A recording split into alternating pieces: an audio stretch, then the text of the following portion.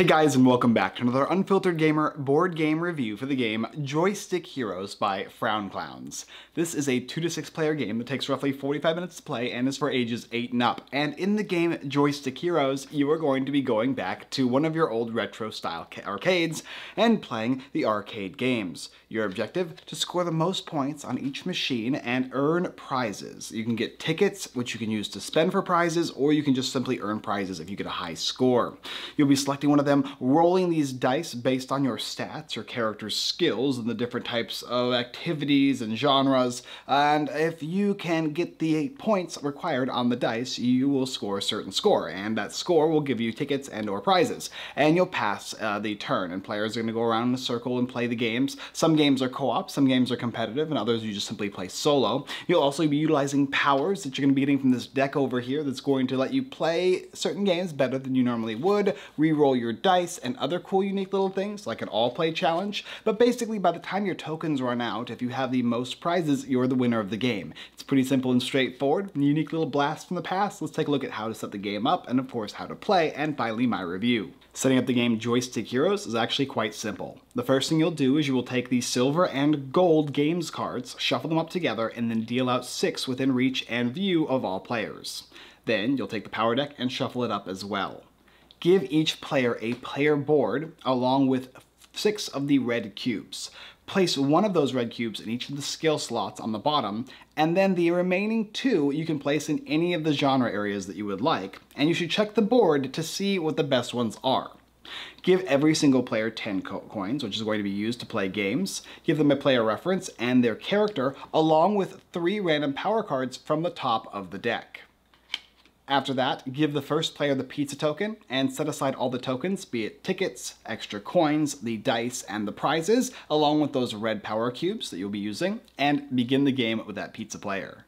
A turn of Joystick Heroes is actually quite simple. You'll take your character and you'll choose one of the games available. From there, you'll place that character there along with one token at the bottom of that game to symbolize that not only you're taking your turn and you're only going to get 10 turns in the game, but also that that game is being used. Then you're going to go ahead and check your skills and your genre cubes, and you'll check the categories on the card. One joystick will grant me one die. I also have one double, I also have one of the targets, which will get me another one. And finally, I have a double aliens, so I'm going to get two of these black die. After you get your black die, you're also gonna take the white die. You'll always use this die. And then you're gonna roll. Your objective when rolling or playing a game is to get the highest score possible. The more points you score, the more tickets you can earn, and if you can get that high score, you can also get prizes. You'll take these die, then you're gonna roll them, and you're going to check the value. If the value reaches or exceeds a certain area, that is the prize you're going to take. So in this case here, I've got four, five, and six, which is gonna be over the 400, but not over the 700, so I would net two tickets. However, when you roll this white die, there's unique things that can happen. The key is going to let you discard one of your power cards in order to use the top left-hand location icon, which is going to give me two extra 200 extra points or 100 extra points or a free ticket. And the heart is actually what I call an exploding die. It's going to let you take this one and another black die, if you would like, and roll them again to score additional points. And like here, now I have two, four, six, eight, 900 points, which is going to get me past that 400 range into the 700 range and score me three tickets.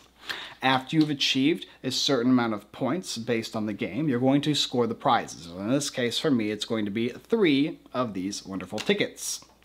If you score the high score, so if I scored 1100 points in this game, I would get the top prize. And also, the game is going to go away. I would discard the game and I would draw a new game from the deck and replace it. If you don't, you leave it there. Games will only go away if three coins have been used on them or after the third, or if the high score has been reached. After your turn is over and you've chosen not to play any cards because you can play cards during combat, these power cards and whatnot, some of them are going to give you additional dice or change the way the white die goes or additional die for certain genres, then if you have less than three cards in your hand, you'll draw a card and you can go ahead and use your tickets to do one of three things. You can either A, spend three tickets to get a red cube and place it in any one of the four skills. You can spend two tickets to give yourself one cube in any genre that you'd like, or you can spend five tickets to give yourself a prize. And these prizes are the most important thing in the game because whoever has the most at the end is the winner. But The early game, you're going to want to be gathering these tickets to give yourself skills and genres in order to give yourself a boost in when you roll the die to get higher scores. You can also choose to just do none of that and save the tickets and then your play will pass to the next player. And they will once again do that, do same thing as well. The only thing that's unique about this game as far as uh, turns changing is you can never go on the same space as another player unless stated otherwise.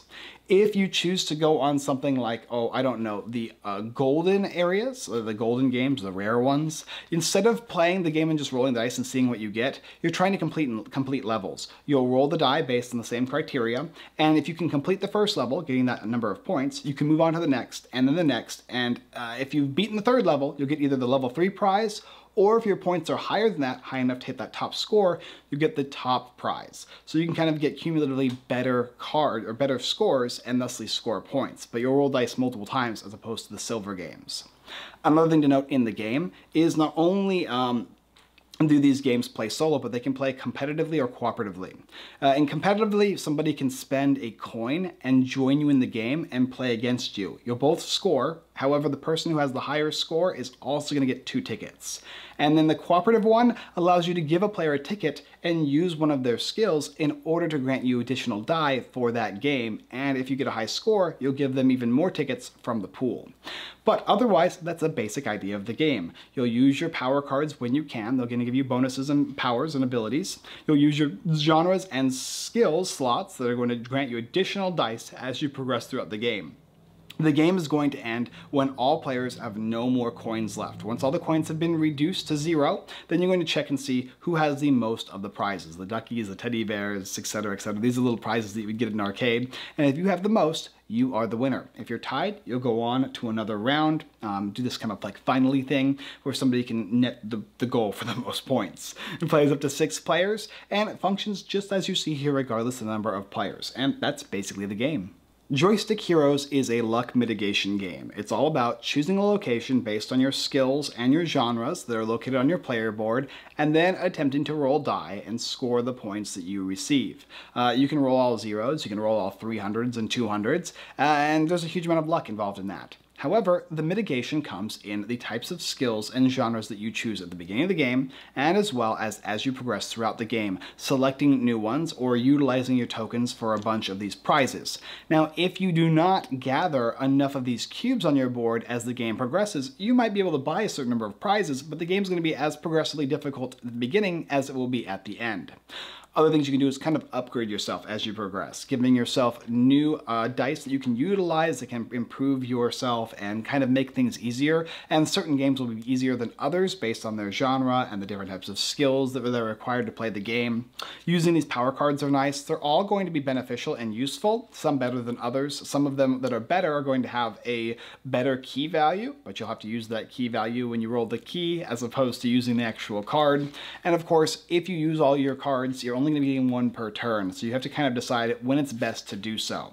They also, little additional strategy in the game is playing cooperatively and competitively against each other. Sometimes it's better to net those extra points if you think you can beat someone. Other times it's better to give people tickets in order to receive additional tickets for a game you normally couldn't beat. And that adds just an extra little tinge of difficulty. And you don't have to play that if you don't want. It's one of those things that's added to the game, but if you don't want to play the competitive cooperative little aspects, which is literally just a little symbol on the top of the card here, you can kind of ignore that that. Uh, my suggestion is you play with it, and people who do not want to do that just don't have to do it. There's no cost uh, to not actually choosing to do it, uh, but it might be a benefit to do, and after you see enough people do it, it might be worth trying.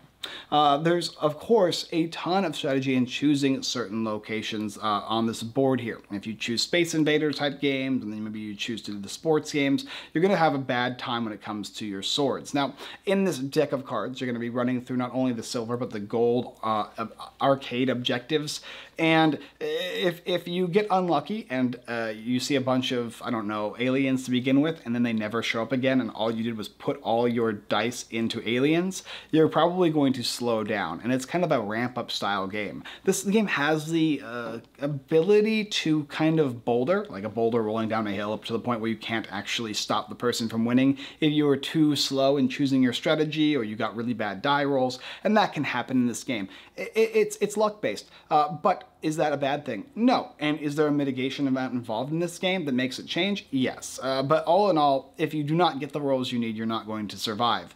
But I just really dug this game. I liked the amount of strategy that was inputted into the game. I liked how people were working together in, in certain ways to cooperate in certain games or compete in certain games, utilizing tokens. It, it has the feel of going to a retro arcade and choosing your games. And sometimes I've wanted to choose certain games just because I like the idea of them, even though they didn't benefit me in dice. I didn't do that because that's a terrible strategy, but it's one of those things where just noticing all these different games, it kind of reminds you of the different style. Like Titan Rage. You kind of know what game that might be from. It's got dinosaurs on it. Um, so it has these different styles and genres and whatnot of games that you might have heard of in the past. So let's, let's go over the categories. One, quality of the game. This game has great quality. The tickets are fun, they're useful, and you want to spend them. The coins are going to be inserted into the games, and it feels like you're attempting to play them while rolling the dice. Yes, they all pretty much play the same way, except for the gold ones play different than the silver, but for the most part, you're rolling dice and trying to get the high score. Uh, the dice themselves, generally speaking, you're going to get a positive result on the black ones, and there's a possible zero. And on the special white one, you can get negatives, you can get positives, you can get the key, and you can get explodey dice. I always love explodey dice in games, and this one does a great job of that. And giving you the option of re-rolling this die can be positive and benef beneficial depending on how lucky you want to be, because you can get yourself negative points with this die if you want to re-roll it, if maybe you got 100 or maybe you got a key and you didn't want to use those. And so kind of the choice becomes up to you. Um, playing with your player board, all players are basically the same. The difference is where you choose to increase your stats and where you start your stats off at the beginning of the game. I would like to actually see each character have their own unique twist to them, have their own unique ability or objective in the game. In fact, maybe even a, an objective-based ID at the end. If you score these type of games, maybe have a, the games each have their own unique category, that would be really cool. Um, something that kind of set that aside in a different way. I also want to see additional new games that come out, different types, silver and gold, and maybe something else, something that's uh, full cooperative or full competitive games where you, everybody has to jump in. And there is some of that in the power cards here as well. There's going to be cards that are going to make you do, um, oh, what is it called? everybody has a tournament all play card in which you can go ahead and check the Kickstarter to see how that works. And there's like instant replays and 500 on the, on the button. Things that make you change your score in order to score additional points is also really cool. Uh, there is some additional stuff that I know that I have in the game that I've kind of looked at and took a, but, but it's one of those like Kickstarter stretch goals things, so I'm not going to get too in depth with it because we'll see how it goes with there. But that's kind of what I was hoping for in this game was extra cool things like the, their they're trying to imp implement as well, and I want to see those as well. Additional cool games, character unique powers, but I mean, overall, it's a fun dice chucky game. It kind of feels like, I don't know, King of Tokyo-ish, one of those like Yahtzee style playing games um, with a cool retro feel and theme. All the artwork is super cool, the character design is fun, and the game is one of those things where you sit down and you see the game being played, and it's something you want to check out. It's got really strong table presence, and the quality is great.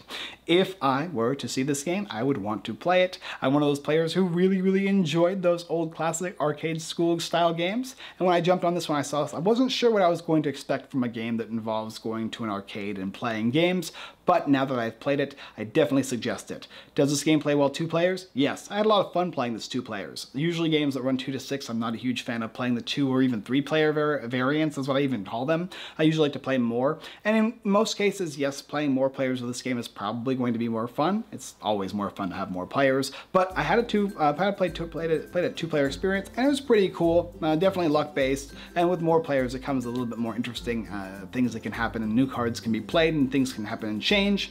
Um, but overall, a solid fun game. I would highly recommend Joystick Heroes for anybody who is an arcade lover. Definitely take a look at this game on the Kickstarter. Thank you guys for watching another Unfiltered Gamer board game review for the game Joystick Heroes by Frown Clowns. If you want, like I said, there's a link down below in the description. You can also go ahead and subscribe to the channel. Hit that subscribe button and bell notification button to see more videos just like this one.